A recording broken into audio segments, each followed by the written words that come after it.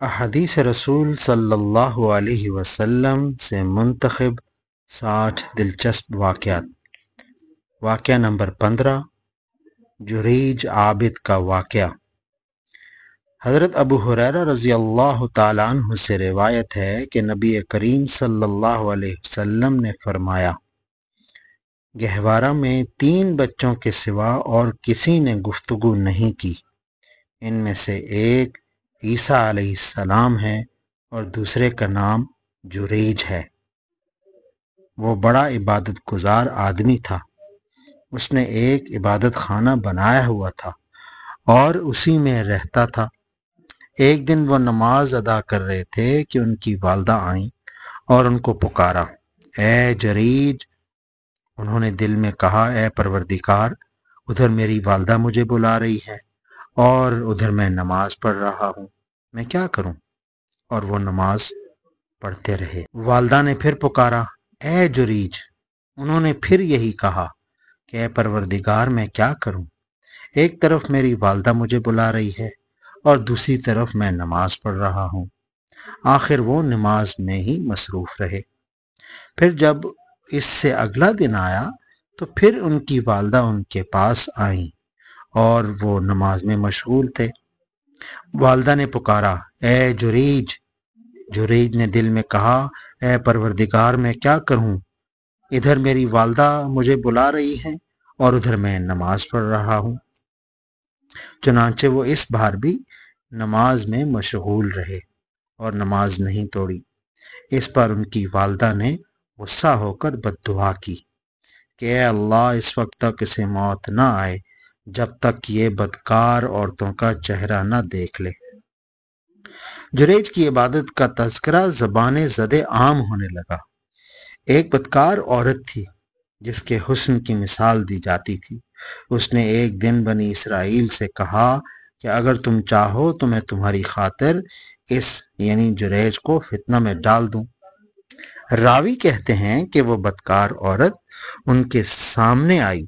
और उनसे गुफ्तगु की, लेकिन उन्होंने उसकी तरफ़ कोई तवज्जो नहीं की। यानी इसकी ख्वाहिश पूरा करने से इनकार किया। फिर एक चरवाहे के पास आई, जो जुरीज की इबादत खाने में क्याम किया करता था। इस औरत ने इसको अपने ऊपर काबू दे दिया। और उस चरवाहे ने उस औरत के साथ बदकारी की। इससे एक बच्चा पैदा हुआ, औरत ने तोहमत लगाई कि ये बच्चा जुरीज का है। उनके कौम के लोग आए और जुरीज को नीचे उतारा और उनकी इबादत खाने को तोड़ दिया और इनको मारने लगे। जुरेज ने पूछा कि क्या माजरा है? लोगों ने कहा कि तुमने फला बदकार औरत के साथ बदकारी की है, जिससे ये बच्चा पैदा हुआ। जुरेज ने पूछा कि बच्चा कहाँ है? चुनाचे वो इस बच्चे को लेकर आए। जुरेज ने कहा कि मुझे नमाज़ पढ़ने दो। उन्होंने नमाज़ पढ़ी। नमाज़ से फारे होने के बाद बच्चे के पास आए और इससे पूछा कि, ए बच्चे, तुम्हारा बाप कौन है? तो बच्चा बोल पड़ा कि, फलां चरवाहा मेरा बाप है। इस पर उनकी कौम शर्मिंदा हुई और कहने लगी कि, हम आपका इबादत खाना सोने का बनाएँगे। लोग उनको चूमने लगे, तबर्रुकन हाथ फेरने लगे। जुरी ने कहा कि, नहीं मट्टी का ही बनेगा। चुनाचे लोगों ने ऐसा ही किया। एक और वाक्य इस तरह का है कि एक बनी इसराइल की औरत थी। वो अपने बच्चे को दूध पिला रही थी। करीब से एक सवार नहायत वजी और खुशपोश गुजरा। उस औरत ने दुआ की कि अल्लाह, मेरे बच्चे को इस जैसा बना दे। तो बच्चे ने माँ की छाती को छोड़कर और माँ की तरफ़ मुतवजह होकर बोल पड़ा कि अल्लाह, मुझे इस जैसा न बनाना।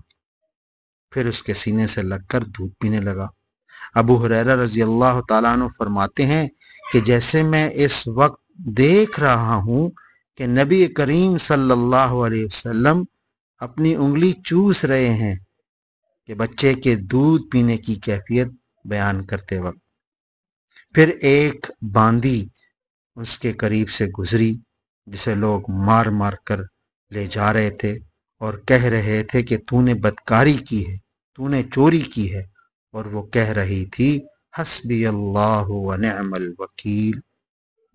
उसे देखकर इस औरत ने दुआ की कि अल्लाह, मेरे बेटे को इस जैसा न बनाना। तो बच्चे ने फ़ौरन दूध छोड़कर माँ की तरफ़ देखा और कहा, ए अल्लाह, मुझे इसी जैसा बना दे। फिर दोनों की बहम गुफ्तगु हुई। औरत ने कहा कि एक खुश लिबास और वजीह आदमी गुजरा। मैंने कहा कि अल्लाह मेरे बच्चे को इस जैसा बना दे, मगर तुमने कहा कि अल्लाह मुझे इस जैसा न बनाना। फिर इस बांदी को करीब से लोग लेकर गुजरे, जिसको वो मार रहे थे और कह रहे थे कि तू बदकार है और चोर है। मैंने दुआ की कि अल्लाह मेरे बेटे को इस जैसा न बनाना। मगर तुमने कहा, है अल्लाह, मुझे इसी जैसा बना दे। तो बच्चे ने कहा कि वो सवार जालिमों में से एक जालिम था। इसलिए मैंने दुआ की कि अल्लाह इस जैसा ना बनाना और इस बांदी से जो लोग कह रहे थे कि तुमने चोरी की है, बदकारी की है, हालाँकि ना ही उसने बदकारी की और ना ही उसने चोरी की। इसलिए मैंने दुआ की कि अल्लाह मुझे इस जैसा बना दे। ये रिवायत बुखारी और मुस्लिम दोनों में मौजूद है। इस हदीस मुबारक से वालदेन के साथ उसने सलूक की फजीलत मालूम हुई। बिलखसूस वालदा के साथ नेक सलूक की अजमत ज़ाहिर हुई और वाज हुआ कि माँ की दुआ कबूल होती है। ये भी मालूम हुआ कि अल्लाह ताला परहेजगार इंसान को इसकी परहेजगारी की वजह से मुश्किल से ज़रूर निजात दिलाते हैं। जब बहुत से अमूर मतारज यानी आपस में टकरा रहे हों तो इस वक्त पता चलता है कि इनमें से अहम अमर कौन सा है। जब अपनी किसी हाजत या परेशानी के लिए दुआ करनी हो तो पहले वज़ू करके नमाज़ पढ़ना मुस्तहब है। ये भी मालूम हुआ कि वज़ू का हुक्म सबका शरीयत में भी था और औलियाए कराम की करामात का इसबात हुआ नीज ये कि कभी इन करामात का जहूर, इनकी ख्वाहिश और तलब के मुताबिक भी हो जाता है। अगर अपने किसी मातहत आदमी से अदब के खिलाफ कोई काम सरजद हो जाए तो इसके साथ रफक और सलूक वाला मामला करना चाहिए। जो शख्स अल्लाह के साथ मुखलिस हों, कोई फितना या फसाद उनको नुकसान नहीं पहुंचाता। अगर अपने अंदर कुत पाए तो ज़्यादा इबादत और रियाजत करने में कोई मुजायका नहीं। जब अहम उमूर दरपेश हों और खौफ ख़तर का आलम हो तो नमाज़ के ज़रिए अल्लाह ताला की तरफ़ मुतवजह हो जाना चाहिए। इस हदीस से हज़रत जुरेज की कुत ईमानी और अल्लाह ताला से तो और उम्मीद की सेहत मालूम हुई। इसलिए कि एक छोटा बच्चा उनकी सदाकत की गवाही देने के लिए बोल पड़ा। हालाँकि आम तौर पर इतना छोटा बच्चा नहीं बोलता। तकबर खुद पसंदी की मजम्मत के साथ जाबिर और जालिम लोगों की बुराई मालूम हुई। मालूम हुआ कि मजलूम आदमी का अल्लाह के यहाँ मकाम व मरतबा है। अगर ये बात ना होती तो वो शीर खार बच्चा कभी ये दुआ करना पसंद न करता। कि अल्लाह इसको उस बांदी जैसा बना दे। ये भी साबित हुआ कि अगर वालदेन में से कोई शरी मकसद के लिए बुलाए तो नफल नमाज़ को तोड़ देना जायज़ है।